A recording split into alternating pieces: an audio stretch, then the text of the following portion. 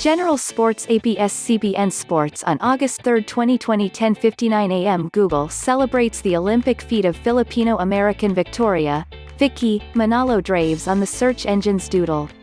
Google Doodle noticed today's Google Doodle of a female diver on the main page of the search engine. That is Filipino-American Victoria, Vicki, Manalo Draves, who won gold medals in the 3-meter springboard and 10-meter platform events in the 1948 London Olympics. The doodle celebrates the heroic feat of Draves in the Games on this day 72 years ago. Draves, who was born in south of Market District in San Francisco, became the first American woman to win two gold medals in diving and the first Asian American woman to win an Olympic gold. Photo courtesy of the Associated Press born to a Filipino chef-musician father, Teofilo Manalo from Orani, Bataan, and Englishwoman mother Gertrude Taylor, Draves started diving at the age of 16.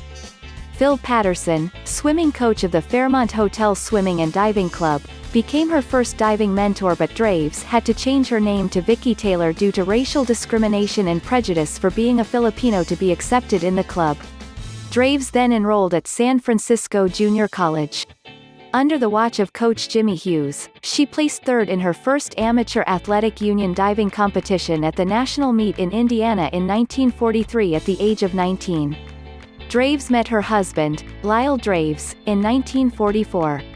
Lyle, head of the swimming and diving program of Athens Athletic Club in Oakland, added platform diving to her springboard diving repertoire. The two tied the knot on July 12, 1946 after moving to Southern California.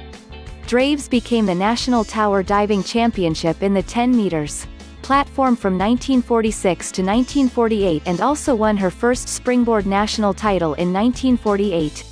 Draves made it to the USA national team despite falling short of first-place finishes in the springboard and platform events in the Olympic trials in Detroit.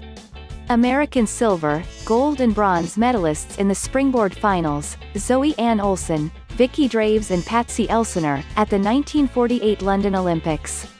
In the 1948 London Olympics, Draves captured her first mint on August 3 after tallying 108.74 points in the 3 meters. Springboard ahead of teammates Zoe Ann Olsen Jensen, 108.23, and Patsy Elsener, 101.30. Three days after, Draves snared her second gold medal in the 10 meters. Platform with 68.87 points to beat Elsener, 66.28, and Denmark's Birte Christoffersen, 66.04. Draves visited the Philippines shortly after her Olympic conquest and conducted diving exhibitions at the Rizal Memorial Complex and in other venues. She turned professional after the Olympics and performed in aquatic shows around the US, Canada and Europe. Draves bore four sons, who inherited their parents' interest in diving. Draves was inducted into the International Swimming Hall of Fame in 1969 and received other accolades and recognitions.